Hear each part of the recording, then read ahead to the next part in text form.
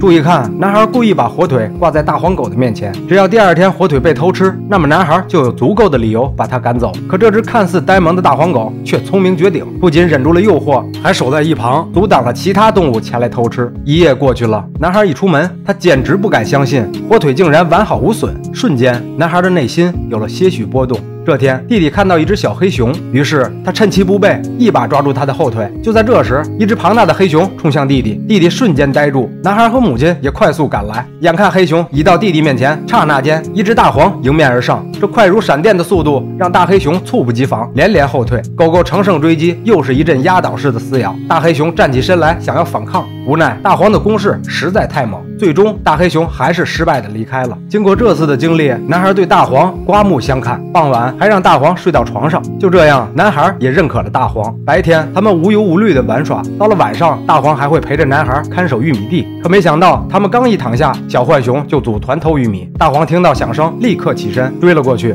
瞬间，小浣熊四散逃命。清晨，男孩发现自家的老母牛不知去向。妈妈告诉他，母牛应该是在野外生小牛。于是，男孩带上大黄就要去寻找。母亲提醒他小心点，因为母牛刚生完小牛，性格会变得暴躁。果然，母牛和小牛正躲在树林中。男孩好心想要抱起小牛，可一旁的母牛却以为他要伤害小牛。护牛心切的母牛直接冲了上去，男孩赶紧放下小牛，撒腿就跑。身后的母牛疯狂追赶，男孩脚下一滑，摔倒在地。眼看母牛撞向男孩，大黄一跃而起，扑倒了母牛。母牛挣扎起身，可又被大黄按倒。最终，他成功的制服了母牛。大黄对着母牛叫了两声，母牛屁颠屁颠的跑回家里。回家后的母牛脾气依然火爆，男孩想挤些牛奶，却被一脚踹倒。母牛拉扯绳子，继续暴躁。这时，大黄慢慢走向前去，母牛呆住了。大黄继续逼近，死死盯住母牛。母牛瞬间怂了，马上立正站好，等待挤奶。男孩拿起工具，顺利的取了牛奶。母亲见状，对大黄连连夸赞。男孩也骄傲地说：“他是我见过最勇敢的狗。”挤完牛奶后，男孩用绳索套住一只野猪，拼尽全力想要拉上山坡。不料野猪拼命挣扎，男孩一不小心掉入了野猪群中。一群凶猛的野猪正在攻击男孩，野猪王死死咬住他的大腿，疯狂撕扯。男孩大声哀嚎，拼了命的挣扎。突然，大黄冲了过来，咬住野猪的脖子。男孩趁机逃脱。可巨大的疼痛让他一下摔倒在地，这才发现大腿已被野猪咬伤。他用手帕忍着剧痛包扎好伤口。没一会儿，前方突然停止打斗。他抬头一看，野猪群正在四散逃窜。他赶紧呼唤大黄，但却迟迟不见他的身影。男孩跑去查看，原来狗狗早已遍体鳞伤的躺在地上，危在旦夕。他立刻脱下上衣给狗狗包扎，想要带它回家治疗。可狗狗伤的实在太重，于是男孩搬开旁边的枯木，先让狗狗藏在洞中。狗狗拖着重伤的身体艰难前行，一点一点地爬进山洞。撕扯的伤口让狗狗不停地哼唧着。临走前，狗狗流着眼泪望向男孩，男孩向狗狗保证一定会回来救他。说完，他用木板封住洞口，一瘸一拐地朝家中走去。不久，男孩带着母亲找到大黄，母亲看到他的伤口很惊讶，这样的伤口还能活着，真是奇迹。男孩告诉母亲，大黄是为了救我才被野猪咬伤的。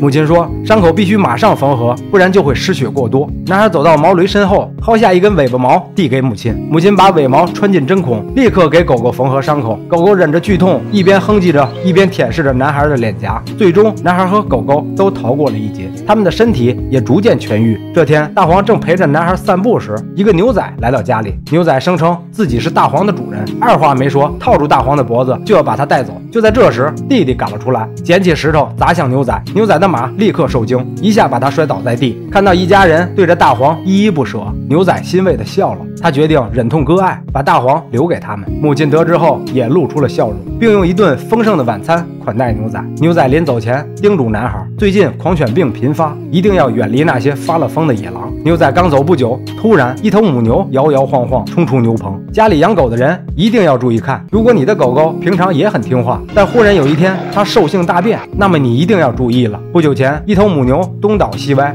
好像喝多了一样，倒地不起。母亲看到后喃喃自语：“只是被狼咬了一口，伤势怎么这么重？”男孩说：“看状态是感染了狂犬病。”说完，男孩从屋里拿出猎枪，对准母牛。傍晚，母亲把病牛拉到农场外火化，大黄也跟了出去。这边的男孩正和弟弟玩耍的时候，突然母亲在屋外大喊，男孩拿起猎枪冲出门外，立刻朝着母亲的方向跑去。此时，狗狗正和一匹野狼纠缠在一起，疯狂的撕咬。男孩举起猎枪，但又怕伤害狗狗，无奈实力太过悬殊，狗狗逐渐被野狼压倒。男孩没有犹豫，只听一声枪响。狗狗和野狼瞬间倒地。男孩心急如焚地望着狗狗，不一会儿，狗狗慢慢地站起身来，走到男孩身边。男孩欣慰地摸着狗狗，并询问母亲到底发生了什么。母亲说：“只见一匹野狼向我扑来，幸好大黄救了我。”男孩听后骄傲地说：“大黄是我见过最勇敢的狗。”可下一秒，母亲突然想到了什么，她回头看向大黄，慢慢走向前，抚摸着它。母亲告诉男孩：“就是这匹狼在昨天咬伤了这头母牛。”男孩瞬间傻了。母亲不舍得说：“如果你下不了手，那就让我来吧。”男孩激动地说：“大黄是我的朋友，你不能这么狠心。而且他多次救过我们性命，在没有确认他感染前，先把他关起来，我保证他不会乱跑。”母亲担心家人，但还是拧不过孩子。转眼间，两个星期过去了，男孩带着母亲来看大黄。一开门，狗狗一切正常，呆呆地坐在原地。母亲看着大黄正常吃着食物，也非常欣慰。男孩说：“能不能先放出狗狗？”母亲说：“别急，最少要观察一个月。”晚上，男孩偷偷割下一大块肉，想让狗狗快点好起来。可就在他打开门时，男孩愣在了原地。狗狗呲牙咧嘴，恶狠狠地盯着男孩。男孩放下食物，想上前安抚，可狗狗情况越来越糟。虽然他的眼中泛起泪花，但他的身体已经不受控制。男孩轻轻地把门关上，但他仍不死心，从侧面向里看去。大黄依然扑咬着男孩，男孩不忍直视，只能默默地流下眼泪。这时，母亲拿来猎枪，男孩哭着恳求他不要杀死狗狗。母亲说：“为了家人安全，大黄必须死。”如果你真的爱他，就让他早日解脱吧。男孩无奈，哭着说：“他是我的狗，我来送他最后一程吧。”